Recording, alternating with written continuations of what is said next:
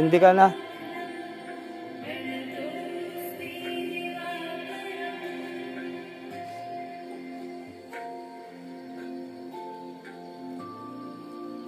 Sindihan mo sila.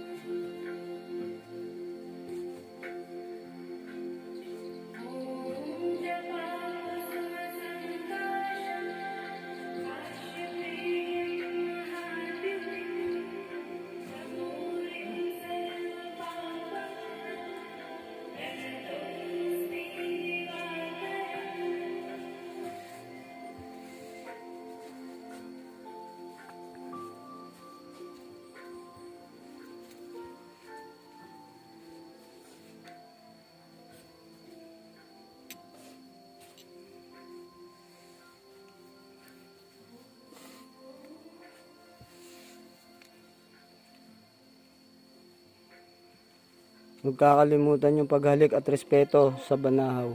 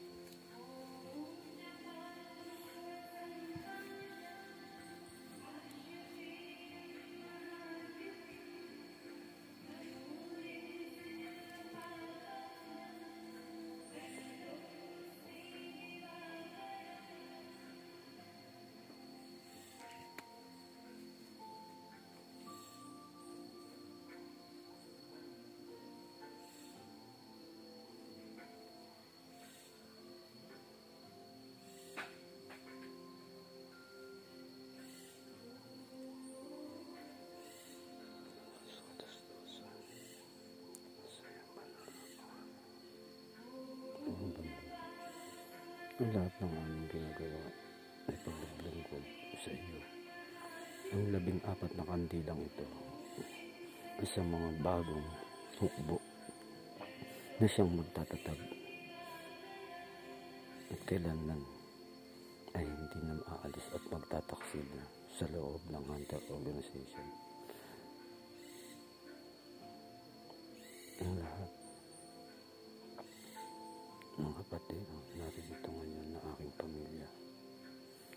Itinataas ko sa iyo ang kanilang mga pangalan. Itala mo, Ama, sa talaan ng aklat ng buhay ang kanilang mga pangalan. Ipagkaloob mo po na sila ay makasakasama mo sa pagdating ng araw ng iyong paghuhukom dito sa lupa. Lahat ng kapatid ko na, na naririto sa espiritual ay mga kapatid ko na nais kong makasama sa kalangitan. Ingatan mo po sila gaya ng pag-iingat mo sa akin. Mahalin mo po sila, Ama, gaya ng pagmamahal mo sa akin. Mula sa mga sandaling oras na ito, mula sa pagluha ng mga kandilang nasa aking harapan ngayon, tunghayan mo ang pagluha ng kanilang kalooban at ang kanilang pagsisisi sa kanilang mga nagawang kasalanan. Ipagpatawad mo po ang bawat isa sa amin kung kami man po ay nakakagawa ng pagkakasala, Ama, sa lihim at ahiyag. Hindi po namin ito kagustuhan, hindi namin ito sinasadya, Ama, sapagkat kami ay tao lamang na nagkakasala.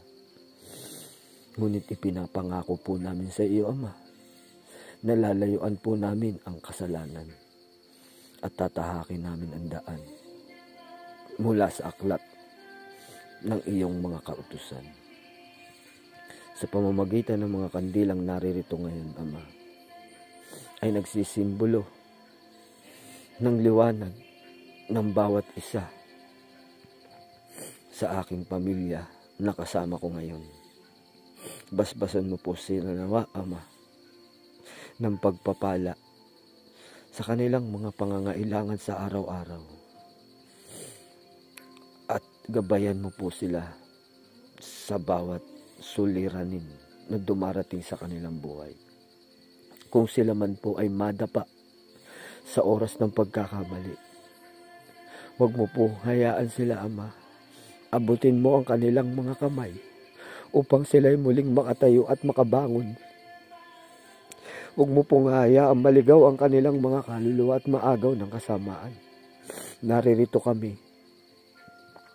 sa harap mo, Ama mula sa bundok na ito. Saksi ang mga puno at mga batong buhay. Maging ang mga lahat ng elementong naninirahan dito ay saksi sila sa aming kalooban. Hindi namin ito iginagawa upang maging mayabang sa iyo, Ama, sapagkat wala kaming maipagmamayabang. Hindi namin ginagawa ito upang magmalaki sa iyo, Ama, sapagkat wala kaming maipagmamalaki. Kami mga hubad at musmus lamang para sa iyo. Ang bawat isa na nag-alay ng liwanag sa iyo ay suklian mo po ng liwanag ang kanilang buhay. Patnubayan mo po ang bawat isa sa kanila. Ibigay mo po ang gawad ng basbas ng kapangyarihan na nagmumula sa iyong banal na kapangyarihan. Babaan po ninyo sila ng banal na espiritu mula sa mga sandaling ito upang maramdaman nila ang yakap ng iyong pagmamahal. Kalingain mo po ang bawat isa sa amin, Ama, at pagpalain mo kami sa araw-araw. Ngayong gabi na to, Ama, isinusuko namin sa iyo ang aming kaluluwa ng buong buo. Isinusuko namin sa iyo ang aming buong pagkatao Nawa itanggapin mo kami, Ama. Wala ka pong iiwan dito sa amin. Wala kang pipiliin. Lahat po kami ay iyong tanggapin. Sinusuko po namin ang aming kaluluwa sa mga sandaling ito. Ligapin mo po kami, Ama, at yakapin mo kami. O Panginoong Iso Kristo, Yeshua Hamasiya, ikaw po ang tangi-tanging napakalapit sa Ama. Ipaabot mo po ang aming mga panalangin. Ipagpa, ipagpatawad mo ang aming mga pagkakasala. Ikaw ang siyang lubos at higit na malapit sa amin at nakakaunawa. Ramdam mo ang bawat paghihirap namin dito sa mundong aming ginagalawan. Nababatid po namin hindi ito ang mundong aming tahanan. Kami ay mandarayuhan lamang dito. Hindi po ito ang aming bayan. Gusto lamang po namin bumalik sa aming pinanggalingan diyan sa bayang banal na siyang naghihintay sa amin. Ang bawat isa na pangalan ng mga taong narito ngayon, Ama. Itala mo sa kalangitan. Huwag na huwag mong bibitawan at huwag na huwag mo pong kakalagan ang pagkakatali ng kabanalan sa aming katawan. Palakasin mo ang bawat isa sa amin maging sa antas ng karunungan katalinuhan na sa espiritual at mabuhay ng matuwid ng may kabanalan. Maraming maraming salamat po at dininig mo na ang aming panalangin. Amang banal sa kitaas-taasan, Amang Oya, Alpha Omega, Oha, aha, ha, ha, aha, Yod Hebab He Tetragrammaton Adonai, Yahweh Yoba, Amen.